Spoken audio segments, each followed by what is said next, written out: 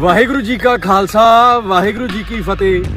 ਦੋਸਤੋ, ਤੁਹਾਡੇ ਸਾਰਿਆਂ ਨੂੰ ਮੈਂ ਇੱਕ ਬੜੀ ਜ਼ਿਆਦਾ ਜ਼ਰੂਰੀ ਜੋ ਗੱਲ ਦੱਸਣ ਲੱਗਿਆ ਹਾਂ, ਇੱਕ ਜੋ ਮੇਰੇ ਅਗੇਂਸਟ ਜੋ ਵਿਕਾਊ ਮੀਡੀਆ, ਜੋ ਐਂਟੀ ਸਿੱਖ ਮੀਡੀਆ, ਜੋ ਗੋਦੀ ਮੀਡੀਆ, ਉਹਨਾਂ ਨੇ ਜੋ ਮੇਰੇ ਅਗੇਂਸਟ ਇੱਕ ਬ੍ਰਿਤਾਂਤ ਰਚਿਆ ਸੀ, ਇੱਕ ਨੈਰੇਟਿਵ ਰਚਿਆ ਸੀ 5 ਅਪ੍ਰੈਲ ਨੂੰ, ਜੋ ਮੈਂ ਰਿਟ ਪਟੀਸ਼ਨਾਂ ਦਾਇਰ ਕੀਤੀਆਂ ਸੀ ਮਾਨਯੋਗ ਹਾਈ ਕੋਰਟ ਦੇ ਵਿੱਚ ਜਿੱਥੇ ਨੈਸ਼ਨਲ ਮੀਡੀਆ ਨੇ ਜਿੰਨੇ ਵੀ ਸਿੰਘ ਦਿਬੜੂਗੜ ਅਸਾਮ ਵਿੱਚ ਐਨਐਸਏ ਅਧੀਨ ਇਲੀਗਲ ਤੇ ਅਨਲੌਫੁਲ ਡਿਟੈਂਸ਼ਨ ਵਿੱਚ ਨੇ, ਉਹਨਾਂ ਦੀਆਂ ਜੋ ਮੈਂ ਰਿਟ ਪਟੀਸ਼ਨਾਂ ਦਾਇਰ ਕੀਤੀਆਂ ਸੀ ਹੇਜੀਅਸ ਕਾਰਪਸ ਦੇ ਅਧੀਨ, ਉਸ ਦੇ ਵਿੱਚ ਜੋ ਅੱਜ ਕਾਰਵਾਈ ਹੋਈ ਹੈ ਮਾਨਯੋਗ ਹਾਈ ਕੋਰਟ ਦੇ ਵਿੱਚ, ਉਸ ਦਾ ਜੋ ਜਵਾਬ ਸਾਰਾ ਆ ਚੁੱਕਿਆ।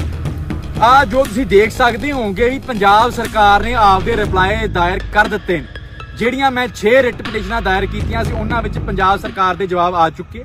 ਤੇ ਜੋ ਅਗਲੀ ਤਰੀਕ ਰੱਖੀ ਗਈ ਹੈ, ਉਹ 24 ਅਪ੍ਰੈਲ ਰੱਖੀ ਗਈ ਹੈ, ਜਦੋਂ ਸੈਂਟਰ ਸਰਕਾਰ ਨੇ, ਸੈਂਟਰ ਗਵਰਨਮੈਂਟ ਨੇ ਯੂਨੀਅਨ ਆਫ ਇੰਡੀਆ ਨੇ ਜੋ ਆਪਦੀ ਜਵਾਬ ਦੇਣਾ ਜਵਾਬ ਤਲਬੀ ਤੇ ਰੱਖਿਆ ਗਿਆ 24 ਤਰੀਕ ਤੇ। ਅੱਜ 11 ਅਪ੍ਰੈਲ ਨੂੰ ਮਾਨਯੋਗ ਹਾਈ ਕੋਰਟ ਦੇ ਵਿੱਚ ਕੋਈ ਵੀ ਮੇਨਟੇਨੇਬਿਲਟੀ ਦਾ ਅਜਿਹੀ ਗੱਲ ਹੀ ਕੋਈ ਨਹੀਂ ਹੋਈ।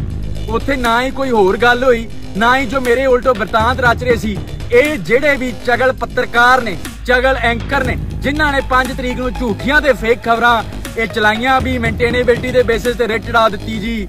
ਮਿੰਤਾ ਜੋ ਹਾਈ ਕੋਰਟ ਨੇ ਝਾੜ ਲਾ ਦਿੱਤੀ ਜੀ ਕੋਈ ਲਾਅ ਦੀ ਨੌਲੇਜ ਹੈ ਨਹੀਂਗੀ ਇਹ ਸਿਰਫ ਔਰ ਸਿਰਫ ਉਹਨੇ, ਉਹ ਜਿਹੜੇ ਦਲਾਲ ਨੇ ਪੱਤਰਕਾਰ, ਜਿਹੜੇ ਦੱਲੇ ਨੇ ਸੈਂਟਰ ਸਰਕਾਰਾਂ ਦੇ, ਜਿਹੜੇ ਮੇਰੇ ਅਗੇਂਸਟ ਇਸ ਕਰਕੇ ਬਤਾਂਤ ਰਚ ਰਹੇ ਸੀ ਵੀ ਮੈਂ ਜੋ ਪੰਜਾਬ ਦੀ ਗੱਲ ਕੀਤੀ, ਮੈਂ ਸਿੱਖ ਕੌਮ ਦੀ ਗੱਲ ਕੀਤੀ, ਮੈਂ ਵਾਰਿਸ ਪੰਜਾਬ ਦੇ ਜਥੇਬੰਦੀ ਦੀ ਗੱਲ ਕੀਤੀ ਅਤੇ ਮੈਂ ਭਾਈ ਅੰਮ੍ਰਿਤਪਾਲ ਸਿੰਘ ਤੇ ਸਾਥੀ ਜਿਹੜੇ ਸਿੰਘਾਂ ਦੀ ਗੱਲ ਕੀਤੀ, ਤਾਂ ਮੈਨੂੰ ਟਾਰਗੇਟ ਕੀਤਾ ਜਾ ਰਿਹਾ ਸੀ। ਜਿਵੇਂ ਕਿ ਗੁਰੂ ਨਾਨਕ ਦੇਵ ਪਾਤਸ਼ਾਹ ਨੇ ਫਰ- ਫਰਮਾਇਆ, ਕੂੜ ਨਿਖੱਟੇ ਨਾਨਕਾ ਉੜਕ ਸੱਚ ਰਹੀ, ਤਾਂ ਅੱਜ ਉਹੀ ਉਹ ਹੋਇਆ। ਜਿਹੜਾ ਇਹਨਾਂ ਨੇ ਮੇਰੇ ਉਲਟ ਝੂਠ ਦਾ ਇਹਨਾਂ ਨੇ ਦੱਲਿਆਂ ਨੇ, ਇਹਨਾਂ ਚਗਲ ਪੱਤਰਕਾਰਾਂ ਨੇ ਜਿਹੜਾ ਪ੍ਰਚਾਰ ਕੀਤਾ ਸੀ ਉਸ ਦਾ ਜੋ ਅੰਤ ਹੋ ਚੁੱਕਿਆ ਅੱਜ, ਕੋਈ ਮੇਨਟੇਨੇਬਿਲਟੀ ਦਾ ਇਸ਼ੂ ਹੈ ਨਹੀਂ ਸੀ। ਜਦੋਂ ਰਿਪਲਾਈ ਆ ਗਏ, ਮਤਲਬ ਰਿਟਾਂ ਤਾਂ ਐਡਮਿਟ ਹੋ ਚੁੱਕੀਆਂ ਨੇ ਮੇਨਟੇਨ ਹੋ ਚੁੱਕੀਆਂ ਨੇ, ਸਿਰਫ ਔਰ ਸਿਰਫ ਗਲਤ ਤੇ ਫਾਲਸ ਖਬਰਾਂ ਚਲਾਈਆਂ ਗਈਆਂ ਉਸ ਦਿਨ ਮੇਰੇ ਖਿਲਾਫ। ਤੇ ਅੱਜ ਮੈਂ ਮੀਡੀਆ ਸਾਹਮਣੇ ਲਾਈਵ ਹੋ ਕੇ ਵੀ ਇਹੀ ਗੱਲਾਂ ਆਖੀਆਂ। ਮੈਂ ਉਹਨਾਂ ਨੂੰ ਆਖਿਆ, ਤੁਸੀਂ ਅਨਐਥੀਕਲ ਫਾਲਸ ਤੇ ਜਿਹੜੀ ਫੈਬਰੀਕੇਟਡ ਰਿਪੋਰਟਿੰਗ ਕਰਦੇ ਹੋ ਪਰ ਮੈਨੂੰ ਲੱਗਦਾ ਨਹੀਂ ਉਹ ਮੇਰਾ ਲਾਈਵ ਚਲਾਇਆ ਗਿਆ ਹੋਣਾ, ਮਾਨਯੋਗ ਹਾਈ ਕੋਰਟ ਦੇ ਬਾਹਰ। ਉਦੋਂ ਮੀਡੀਆ ਨਾਲ ਪੱਤਰਕਾਰਾਂ ਕੋਲੇ ਕੋਈ ਜਵਾਬ ਨਹੀਂ ਸੀ। ਪਰ ਸੱਚ ਇਹ ਹੈ ਵੀ ਪੰਜਾਬ ਸਰਕਾਰ ਦਾ ਰਿਪਲਾਈ ਆ ਚੁੱਕਿਆ ਹੈ।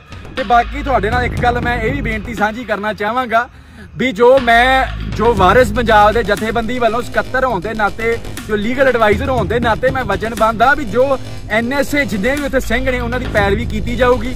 ਪਰ ਮੈਨੂੰ ਲੱਗਦਾ ਵਾਰਿਸ ਪੰਜਾਬ ਦੇ ਜਥੇਬੰਦੀ ਨਾਲ ਸੰਬੰਧਿਤ ਹੋਣ ਕਰਕੇ ਸਰਕਾਰ ਮੈਨੂੰ ਜਿਹੜੀਆਂ ਮੈਂ ਲੈਟਰਾਂ ਲਿਖੀਆਂ ਡਿਸਟ੍ਰਿਕਟ ਮੈਜਿਸਟ੍ਰੇਟ ਅੰਮ੍ਰਿਤਸਰ ਨੂੰ, ਜਿਹੜੀ ਮੈਂ ਡੀਜੀਪੀ ਨੂੰ, ਸੈਂਟਰਲ ਜੇਲ੍ਹ, ਅਸਾਮ ਦੇ ਜੋ ਜੇਲ੍ਹ ਸੁਪਰਡੈਂਟ ਲੈਟਰਾਂ ਲਿਖੀਆਂ, ਕੋਈ ਰਿਪਲਾਈ ਨਹੀਂ ਆ ਰਿਹਾ। ਪਰ ਦੂਜੀਆਂ ਸੰਸਥਾਵਾਂ ਨੂੰ ਅਲਾਉ ਕੀਤਾ ਜਾ ਰਿਹਾ ਉਹਨਾਂ ਨੂੰ ਇਹ ਜੋ ਪਰਮਿਸ਼ਨਾਂ ਦਿੱਤੀਆਂ ਜਾ ਰਹੀਆਂ ਨੇ, ਪਰ ਮੈਨੂੰ ਵਾਰਿਸ ਪੰਜਾਬ ਦੇ ਜਥੇਬੰਦੀ ਦਾ ਅਫੀਸ਼ੀਅਲ ਪੋਸਟ ਹੋਲਡਰ ਹੋਣ ਕਰਕੇ ਮੇਰੇ ਨਾਲ ਵਿਤਕਰਾ ਕੀਤਾ ਜਾ ਰਿਹਾ ਮੈਨੂੰ ਉਥੋਂ ਰਿਪਲਾਈ ਨਹੀਂ ਮਿਲਦਾ, ਮੈਨੂੰ ਉਥੋਂ ਪਰਮਿਸ਼ਨ ਨਹੀਂ ਮਿਲਦੀ।